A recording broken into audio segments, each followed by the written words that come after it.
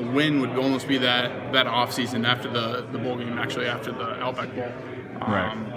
I didn't, you know, I didn't travel at all that year or whatnot, um, and so you know, just and then we got in, uh, we got back into winter conditioning and winter workouts, and you know, it just was I was pushing.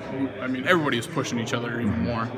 Um, and so you know it just you know kind of took off and just kept working and stuff. And so it you know i guess from then it, i guess it, it kind of started. And then spring ball we got the opportunity to put the pads on. And so Yeah. you know, it was from then on.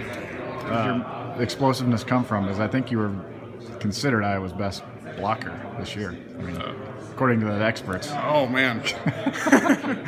Um, and I, it just comes from you know working in the weight room and stuff like that um, You don't look like a, I mean, I'm saying you don't look like a massive guy that's going to overpower guys, Yeah. but you get you have strength. Is that legs, back? I mean, how do you? It's just, I, I guess I, I would say it's a mix of everything. Just, you know, when I got here, I wasn't very, I wasn't the best of shape and whatnot. Okay. And I, again, I mean, it's comes back to Coach Doyle. I mean, he was the one, you know, he pushed me, and you know, the whole strength staff and all the other coaches, they were just, I mean, pushing me.